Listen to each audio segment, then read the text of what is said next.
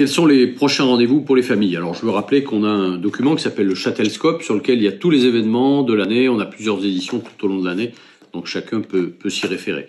On va se rapprocher des fêtes de Noël avec le marché de l'Avent le samedi 9 après-midi sur le haut de la ville de Châtel, sur la place euh, du marché, avec un premier spectacle à 14h30 et puis deux autres spectacles dans l'après-midi. Donc c'est vraiment une, une après-midi dédiée aux enfants, le 9 décembre.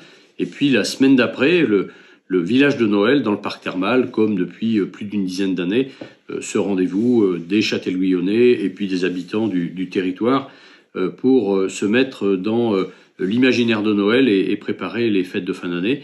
Et puis enfin, il y aura tout au long, pendant les vacances scolaires, des laser games organisés par nos équipes d'animation pour les enfants à différents endroits de la ville. Tous les renseignements sont sur le Châtelscope ou sur le site internet de la ville.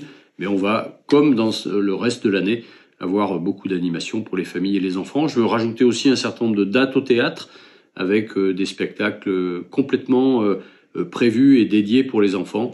Là aussi, les renseignements sont sur le site internet ou de la ville ou du théâtre de Châtellerault.